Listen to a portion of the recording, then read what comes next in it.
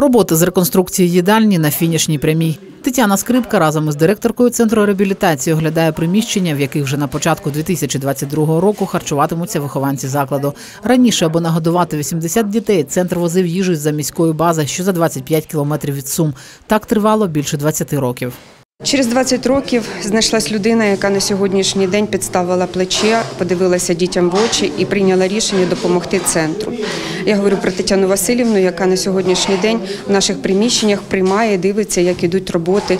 І я дуже вдячна підрядній організації, яка на сьогоднішній день злагоджена за місяць робить значну і е, якісну роботу по облаштуванню наших приміщень. В коридорі вже чекає новеньке обладнання, і до Різдва планують відкриття харчоблоку. До Дня ж Святого Миколая готують сувеніри. Народна обраниця разом із колегами бере участь у майстер-класі з декорування пряників. Все виходить добре. Ну і слава Богу.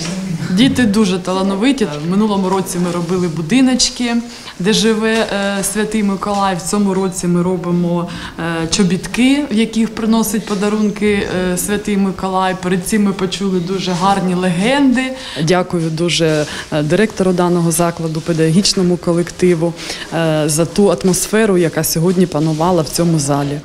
Також депутати мали змогу ознайомитися із закладом під час екскурсії до послуг вихованців, водні процедури та заняття на спеціальних тренажерах. Это польское оборудование, которое было закуплено три года назад и дает очень хорошие результаты. Центр надає послуги дітям з ДЦП, затримкою та порушенням психічного розвитку, аутичним спектром, синдромом Дауна, спином'язовою атрофією та порушенням фізичного розвитку. Трое деток э, ходят в реабилитационный центр с 2016 года, наверное, если я не ошибаюсь. Мы еще совсем маленькими мы поступили. Э, Ну, очень нравится, конечно, ну, мне и детям. Условия созданы, да, не только для детей комфортные, но и для родителей. Комплексна реабілітація за індивідуальним підходом дає змогу адаптувати і простосувати дитину з інвалідністю до соціальної реальності. Это и песочная мастерская, это и глиняная, это и рисунки. В этом году нам показали уже полностью, что здесь есть. В действительности достойное заведение, поэтому будем уделять ему внимание. Это один из приоритетов нашей партии «Слуги народа». Ми були і в Харужівці, ми були і їздили до онкохворих діток. Я вважаю, що це дуже важливо. Діти дуже раді нас бачити. І я вважаю, що це повинні робити усі. Для партійців відвідування центру на свята вже стало традицією. На одній з таких зустрічей народна обраниця дізналася про проблеми закладу.